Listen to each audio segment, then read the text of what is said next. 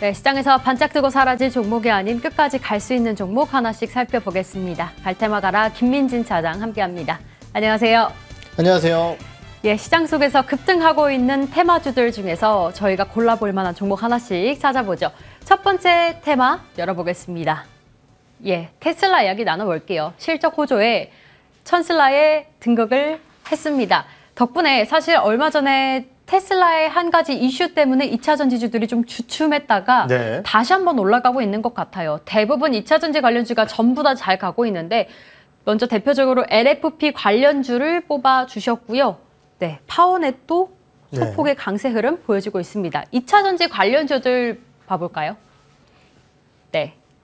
많은 종목들이 있죠. 대다수 빨간불을 그려내고 있습니다. 사장님, 지금 구간에서 포트 안에 2차 전진주 하나쯤은 없으면 좀 이상하잖아요. 그런데 또 매수 타이밍 잡기가 참 어렵단 말, 말이죠. 네, 어, 지난주에 이제 LFV 관련 이슈가 처음 네. 나왔었고 어떻게 보면 이제 우리나라 시장을 이끌었었던 주요 2차 전지 관련 소재 업종군들 같은 경우는 단기적으로 주가의 조정을 좀 어, 얻어맞는 모습이었습니다. 하지만 이제 어, 오늘 아침에 반영된 테슬라의 주가 어, 천슬라였죠. 그리고 이제 1조 달러 시가총액을 돌파한 네. 정말 어마어마한 주가의 상승이었습니다. 이러한 부분들에 따라 테슬라 관련주 혹은 LFP 관련주 그리고 하이니켈을 가리지 않고 오늘 개장 초반 같은 경우는 전반적으로 2차 전지 배터리 관련주들 모두 다 좋은 모습을 보였었는데요. 장 중반 이후에 관련 종목군들의 약간의 흔들림이 좀 나타나는 모습을 보이면서 일부 LFP 관련주들과 일부 테슬라 관련주들 쪽에 상승세가 좀 집중이 되고 있고요. 어, 하이니켈 양극재 관련주들 같은 경우는 좀 쉬어가고 있는 상황인데요. 어, 테슬라의 강세를 놓고 본다라고 한다면 결국은 어, 우리가 흔히 얘기하는 전기차로의 세상 변화는 나타나고 있다. 그리고 그 속도가 생각보다 빠르게 나타나고 있다. 이러한 부분들을 봤을 때 어, 전반 어, 전기차 value chain 종목군들을 한 종목 정도 가져가는 것은 어, 시점의 차이일 뿐이지 분명히 있어야 되는 일이 아닐까라는 판단을 드려보도록 하겠습니다. 네, 그러게요. 그 매수 타이밍 잡기가 참 어려운 것 같습니다. 지난번에 2차 전지 관련주가 테슬라 LFP 관련해서 살짝 주춤했을 때 네. L&F 먼저 찝어 주셨었죠. 맞습니다. 예. 어, 오늘 같은 경우에도 양극재 관련주는 살짝 쉬었다 가긴 하는데 저희가 지금쯤에서 매수할 만한 종목들은 어디라고 좀 보세요? 네, 아무래도 이제 아까 말씀드렸지만은 하이니켈 관련주들이 생각보다 주가가 약합니다. 네. 세게 올라가지 못하고 있는 상황 이기 때문에 결국은 하이니켈 쪽에 조금은 발을 빼고 있거나 아니면은 다른 쪽을 같이 하는 기업을 보는 게 좋다는 판단이 들어서요. 첨보라는 기업을 좀 말씀을 첨보. 드려보도록 네. 하겠습니다. 이 기업 같은 경우는 이제 전해질 관련된 기업이죠. 배터리 성능 향상을 위해서 전해질 첨가물이라든지 이런 것들을 이제 하는 대표적인 기업이다라고 말씀을 드릴 수 있겠는데요.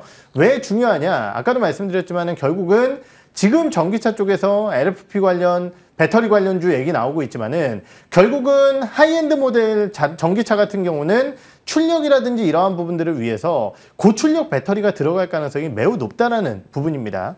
그러한 측면에서 결국은 LFP든 high nickel 어, 배터리든 성능 향상을 위한 움직임을 가져갈 확률이 매우 높고 그러한 측면에서 봤을 때 천보의 어, 주요 제품 같은 경우는 LFP뿐 2차 하이니켈 전지뿐만이 아니라 LFP 전지 쪽에도 같이 들어간다라는 측면에서 봤을 때 현재 시점에서는 가장 안정적인 대안이 되지 않을까라는 판단을 조심스럽게 드릴 수 있을 것 같습니다.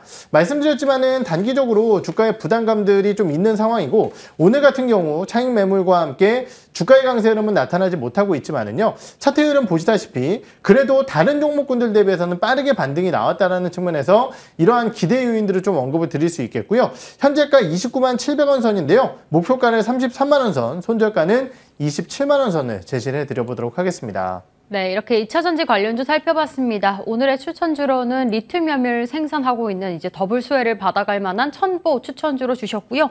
어, 목표가 33만 원 잡아주셨고 손절가 27만 원 체크해 주셨습니다. 어, 차장님 테슬라 이야기 나온 김에 네. 앞으로 테슬라의 주가 흐름은 어떻게 바라보세요? 너 모두가 궁금할 것 같은데. 어, 사실 이제 그런 것들이 있죠. 네. 어제 이제 일반적인 주식을 보는 보조 지표들을 봤을 때는 네. 테슬라의 주가는 과열권에 진입한 건 분명한 사실입니다. 근데 어떠한 주식이든 마찬가지지만 생각보다 더 가는 게 그쵸. 주식이거든요. 네.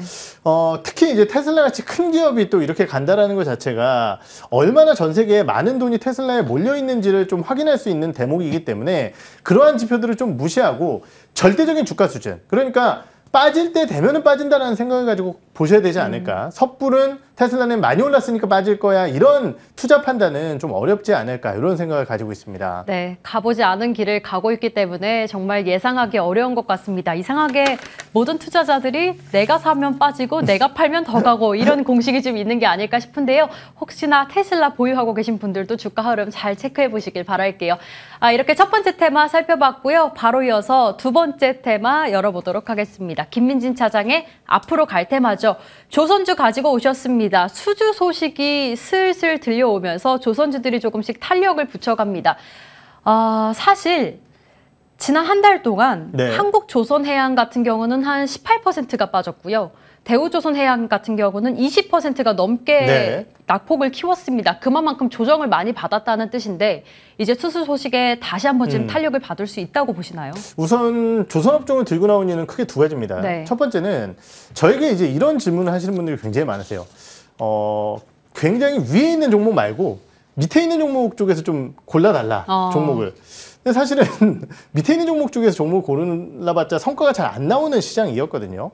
첫 번째는 그러한 부분 때문에 종목 고르기가 좀 어려웠고 두 번째는 전일 시장의 흐름이었던 것 같은데요. 어제 시장 흐름 보시면은 채권금리의 급등 흐름과 함께 어, 우리가 흔히 얘기하는 민감주 그리고 사이클주들에 대한 주가 반등, 어, reopening, 경기 회복 이런 쪽에 종목군들이 좀 집중되는 모습을 보였습니다. 그러한 측면에서 봤을 때 두 가지가 다 볼 수 있는 첫 번째 단기적으로 주가가 많이 빠졌고 두 번째로는 민감주의 대표 주자이며 이러한 부분들과 함께 성장 사이클 내에서는 주가를 어느 정도 가져갈 수 있는 기업이다라는 측면에서 조선주들 한번 관심 있게 지켜볼 만한 타이밍이 아닐까라는 말씀을 드려보도록 하겠습니다.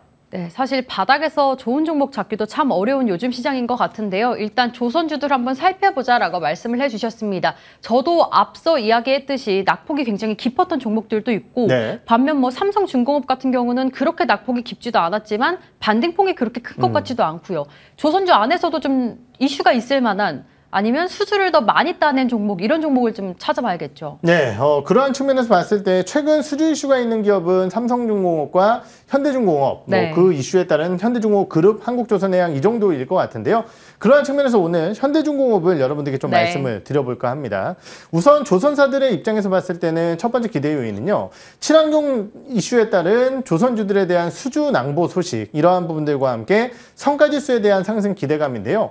어, 왜 친환경과 선 박이냐? 과거에 이제 오래전에 만들어졌었던 선박들 같은 경우는요, 여러 가지 이제 친환경 규제에 맞추지를 못합니다. 그렇기 때문에 LNG 추진이라든지 저감 장치라든지 이러한 부분들에 따른 새로운 배에 대한 수주가 아, 발주가 이루어져야 될 가능성이 매우 높고 어. 그러한 부분들이 나올 때 그러면은 그러한 친환경 배를 어디서 만드느냐?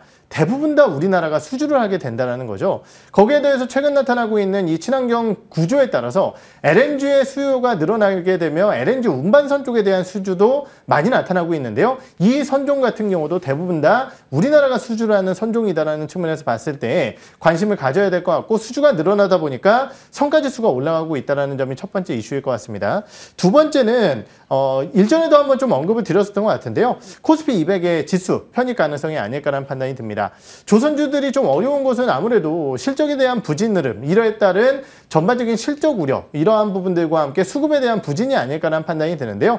현대중공업 같은 경우는 코스피 200 지수 조기 편입 가능성이 매우 높은 기업이기 때문에 특례 편입 가능성이 매우 높은 기업이기 때문에 이러한 부분들에 따른 수급 안정성까지 고려해 본다라고 한다면은 최근 수급, 어, 수주 이슈와 수급까지 맞물려 봤을 때 기대감을 좀 가져갈 수 있는 구간이 아닐까라는 판단이 듭니다. 차트 흐름을 보시면은요 오랜 기간 동안 주가가 횡보세를 보이고 있다가 어제 거래가 확대되고 장대 양봉이 하나 나오는 모습을 보였는데요. 오늘 추가적인 움직임 좀 기대를 해 보도록 하겠고요. 목표가 12만 5천 원 선, 손절가는 10만 원 선 제시를 드 려보도록 하겠습니다. 네, 이렇게 조선주에 대해서도 살펴봤습니다. 참 한때 경기 민감주 유행 많이 탔을 때 잘 올랐던 종목들 중 하나가 조선주였는데 지금쯤에서 수주 소식과 함께 관심 가져보자라는 포인트 잡아주셨고요. 현대중공업 목표가 12만 5천 원, 손절가 10만 원 잡아주셨으니까 함께 체크해 보도록 하겠습니다.